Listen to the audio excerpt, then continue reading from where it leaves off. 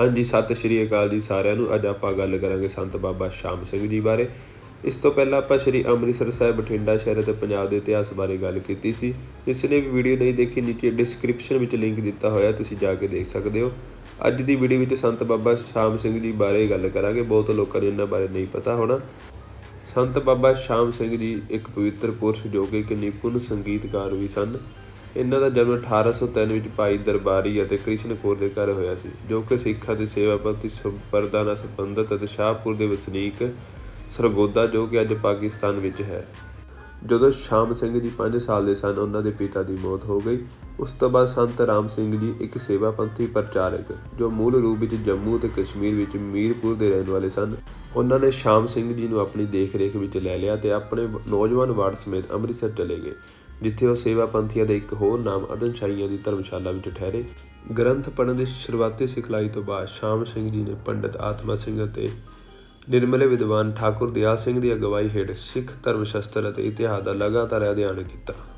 ਇਸ ਸਮੇਂ ਦੌਰਾਨ ਉਹਨਾਂ ਦੀ ਮੁਲਾਕਾਤ ਸੰਤ ਅਮੀਰ ਸਿੰਘ ਜੀ ਨਾਲ ਹੋਈ, ਜਿਨ੍ਹਾਂ ਨੇ ਰਾਗ ਵਿਦਿਆ ਦੀ ਮਹੱਤਤਾ ਤੇ ਜ਼ੋਰ ਦਿੱਤਾ ਅਤੇ ਬਾਬਾ ਸ਼ਾਮ ਸਿੰਘ ਜੀ ਨੂੰ ਵਿਦਿਆਰਥੀ ਬਣਨ ਲਈ ਕਿਹਾ। ਇਸ ਸਮੇਂ ਬਾਬਾ ਸ਼ਾਮ ਸਿੰਘ ਨੂੰ ਕੀਰਤਨ ਸਿੱਖਣ ਦੀ ਕੋਈ ਇੱਛਾ ਨਹੀਂ ਸੀ। ਅਤੇ ਸਤਕਾਰ ਨਾਲ ਇਨਕਾਰ ਕਰ ਦਿੱਤਾ। ਜੀਵਨ ਵਿੱਚ ਮੁੜ ਅੰਮ੍ਰਿਤਸਰ ਆ ਕੇ ਬਾਬਾ ਸ਼ਾਮ ਸਿੰਘ ਨੇ ਬਾਬਾ ਨੌਦ ਸਿੰਘ ਜੀ ਦਾ ਕੀਰਤਨ ਸਰਵਨ ਕੀਤਾ ਅਤੇ ਸੱਚਮੁੱਚ ਲੀਨ ਹੋ ਗਏ। ਇਸ ਸਮੇਂ ਉਹਨਾਂ ਦੀ ਕੀਰਤਨ ਸਿੱਖਣ ਦੀ ਇੱਛਾ ਪੈਦਾ ਹੋਈ ਸੀ ਤੇ ਇਸ ਲਈ ਉਹਨਾਂ ਨੇ ਰਾਗ ਵਿਦਿਆ ਦੀ ਬਖਸ਼ਿਸ਼ ਪ੍ਰਾਪਤ ਕਰਨ ਲਈ ਅਰਦਾਸ ਪ੍ਰਾਰਥਨਾ ਕੀਤੀ। ਇਸ ਤੋਂ ਬਾਅਦ ਬਹੁਤ ਮੁਸ਼ਕਿਲ ਨਾਲ ਉਹ ਇੱਕ ਸਰੰਡਾ ਸੰਗੀਤ ਸਾਜ਼ ਪ੍ਰਾਪਤ ਕਰਨ ਲਈ ਕਾਮਯਾਬ ਹੋਏ, ਜੋ ਕਿਸੇ ਨੂੰ ਕੀਰਤਨ ਸਿੱਖਣ ਲਈ ਜ਼ਰੂਰੀ ਹੁੰਦਾ ਹੈ। ਉਹਨਾਂ ਨੂੰ ਬਾਬਾ ਸ਼ਾਮ ਸਿੰਘ ਦੇ ਪਿੰਡ ਸ਼ਾਹਪੁਰ ਵਿੱਚ ਰਹਿਣ ਵਾਲੇ ਭਾਈ ਲਾਲ ਚੰਦ ਜੀ ਤੋਂ ਰਾਗ ਵਿਦਿਆ ਅਤੇ ਸਰੰਡਾ ਵਜਾਉਣ ਦੀ ਯੋਗਤਾ ਪ੍ਰਾਪਤ ਹੋਈ।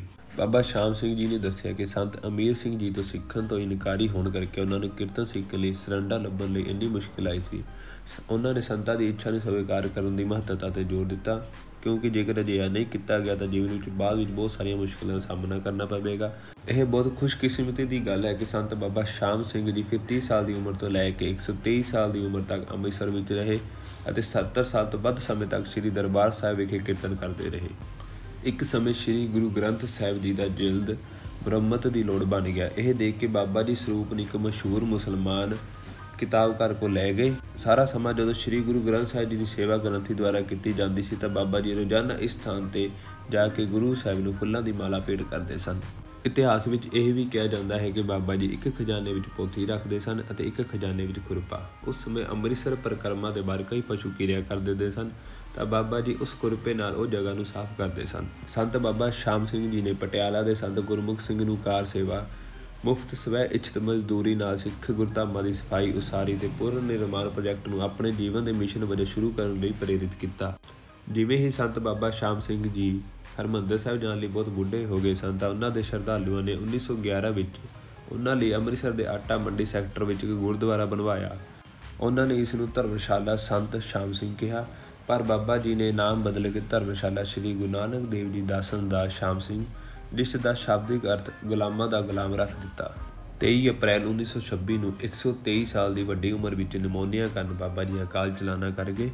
ਗੁਰਦੁਆਰਾ ਬਾਬਾ ਸ਼ਾਮ ਸਿੰਘ ਜੀ ਬਾਂਸਾ ਵਾਲਾ ਬਾਜ਼ਾਰ ਆਟਾ ਮੰਡੀ ਕਟਰਾ ਆਲੂ ਵਾਲੀਆ ਅੰਮ੍ਰਿਤਸਰ ਵਿਖੇ ਹੈ। ਸੰਤ ਬਾਬਾ ਸ਼ਾਮ ਸਿੰਘ ਜੀ ਬਾਰੇ ਪੂਰਨ ਜਾਣਕਾਰੀ ਲੈਣ ਲਈ ਨੀਚੇ ਡਿਸਕ੍ਰਿਪਸ਼ਨ ਵਿੱਚ ਲਿੰਕ ਦਿੱਤਾ ਹੈ, ਤੁਸੀਂ ਜਾ ਕੇ ਦੇਖ ਸਕਦੇ ਹੋ। ਇਸ ਦੇ ਨਾਲ ਹੀ ਵੀਡੀਓ ਨੂੰ ਆਪਾਂ ਖਤਮ ਕਰਦੇ ਹਾਂ। ਉਮੀਦ ਹੈ ਤੁਹਾਨੂੰ ਵੀਡੀਓ ਪਸੰਦ ਆਈ ਹੋਵੇਗੀ। ਲਾਈਕ ਕਮੈਂਟ ਅਤੇ ਸ਼ੇਅਰ ਜ਼ਰੂਰ ਕਰਿਓ ਤੇ ਚੈਨਲ ਨੂੰ ਸਬਸਕ੍ਰਾਈਬ ਕਰ ਲਿਓ ਤੇ ਬੈਲ ਆਈਕਨ ਤੇ ਕਲਿੱਕ ਕਰਕੇ ਨੋਟੀਫਿਕੇਸ਼ਨ ਆਲ ਤੇ ਕਰ ਲਿਓ ਤਾਂ ਜੋ ਤੁਹਾਨੂੰ ਸਾਡੀ ਆਉਣ ਵਾਲੀ ਵੀਡੀਓ ਦੀ ਅਪਡੇਟ ਮਿਲਦੀ ਰਹੇ। ਮਿਲਦੇ ਹਾਂ ਜੀ ਅਗਲੀ ਵੀਡੀਓ ਵਿੱਚ। ਬਹੁਤ ਬਹੁਤ ਧੰਨਵਾਦ ਜੀ।